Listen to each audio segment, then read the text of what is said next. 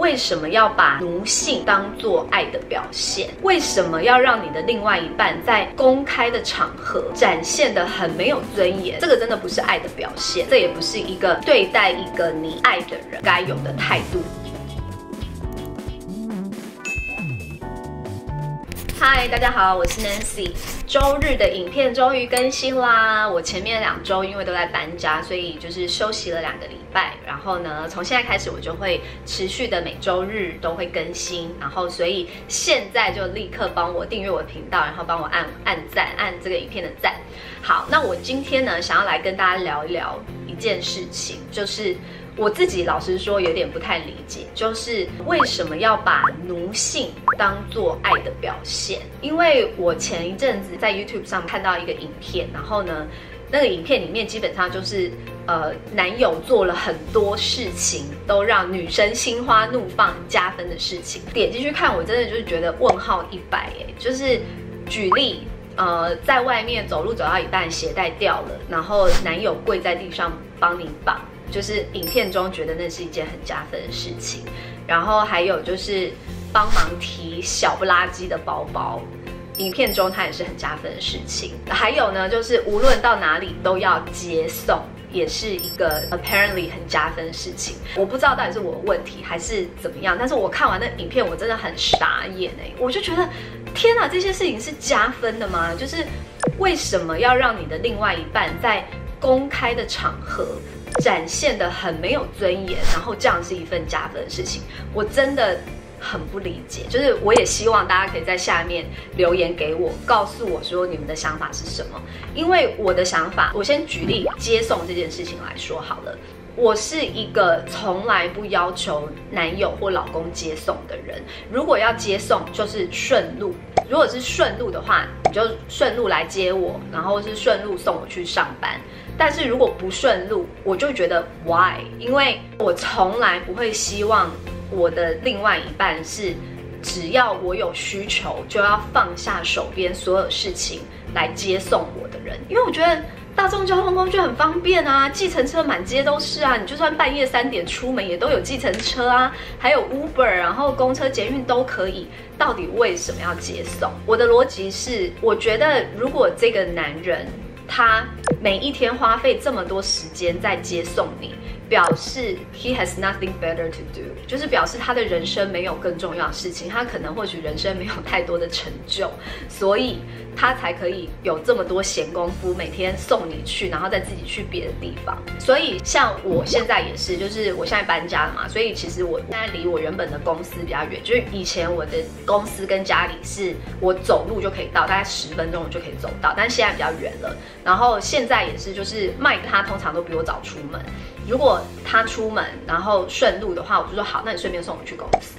但如果是不顺路，我就觉得那我就自己坐 Uber 啊，自己坐电车就好了。就是我真的觉得接送真不知道为什么这是一个爱的表现耶。就是我觉得如果是担心安危，其实你坐 Uber 可以传那个你的地理位置啊，然后等等的，就是关心安危这件事情，我是觉得必要。就是这个就是爱的表现，就是他这个人要很关心说，比如说你半夜出门。是不是安全？有没有从安全从 A 到达 B？我觉得这个关心就是爱的表现。但是接送就是放下手边的一切接送，真的我不认同。然后还有那个绑鞋带，我也是问号一百。除非你受伤，或者是你怀孕，你知道，就是如果真的肚子很大，你是真的看不到自己的鞋带，那个是真的需要别人协助。但是除此之外，到底为什么要在公共场合，然后好像？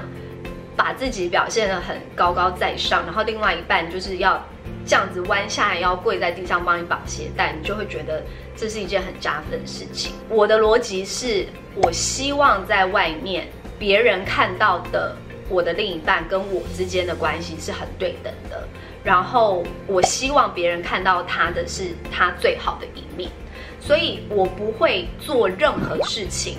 让他在对外感觉是比较放低尊严的，因为我觉得何必呢？我的想法是，我觉得你的另外一半其实某种程度上也说明了你自己是什么样子的人，你的程度到哪里。所以你如果对外不断的贬低你的另外一半，其实就也说明了你也没多好，因为如果你把你的另外一半讲得很差，那你还跟这样子的人在一起，那岂不是表示你也没得选嘛？所以就表示你也没多好啊。所以我我真的我的逻辑就是 so confused。我看到那个影片，我真的很 confused。我就想说。到底为什么？到底是我问题吗？还是怎么样？就是我会觉得对外不是说刻意要做面子或什么的，就是我就觉得这就是一个互相尊重啊。如果我在外面，他叫我蹲在地上帮他绑鞋带，我会觉得 Are you kidding me？就是为什么要这样子？有手有脚你不会绑吗？那我就觉得没必要，真的觉得没必要。所以我觉得很多人，尤其很多少女们，会很容易把这些奴性，或者是把呃好像。男友表现的很低下，比如说在外面闹脾气，然后就这边在大庭广众之下跟你道歉啊，然后呃求你啊什么的，你会觉得哦自己好像很被爱。我觉得这一点都不是被爱，我觉得这个就是一个很错误的虚荣感。对，所以这个真的不是爱的表现。然后我觉得这也不是一个对待一个你。爱的人该有的态度跟行为，我不知道为什么我今天我看到那个影片，我就是情绪很激动，然后我就觉得我不行，我一定要在礼拜天晚上跟大家分享这一件事情。就是我当时看到那个影片，因为它就是在 trending，就是 YouTube 的 trending，好像就是很前面的排名，所以它的浏览率很高。然后我看到下面的留言，大家都说天呐，什么这样的男朋友去哪里找？然后我就觉得。这个价值观不可以被传递下去啊！就是你的男友在你面前展现出这样子的奴性，真的不是一个爱的表现，对你也没有加分，对他也没有加分。感情之间就是应该要两个人是要很对等的，互相尊重的。就算你们两个人本身的关系不是这样子。我觉得你们关起门来自己在家里，就是一个就是大男人，一个是小女人，这是你们两个相处方式。我觉得这样都很 OK。可是，在公共的场合，就是不要要求你的另外一半去做一些需要放下很多尊严的事情。当你的另外一半这样要求你，你也不要这样做，因为我觉得对外这样子真的。不加分也不好看，就是尤其是在外面，我觉得你展现出双方给予双方互相的尊重，真的是一件非常重要的事情。对，因为它同时也说明着你是什么样子的人，就是你是什么样子的人才会跟什么样子的人在一起。所以呢，千万不要把这种奴性或者是很放下尊严的事情当做一个爱的表现，因为它不是。OK，好，那以上呢都是我个人的想法。我知道可能会很多人呃 disagrees 或者什么的，就是礼拜天的这个，我就是只想跟大家分享一些我的想法。那呃，大家可以认同，可以不认同，然后都很欢迎大家就是在下面可以留言跟我讨论。那礼拜天的 这个回归 休息两周回归的第一支影片，就是。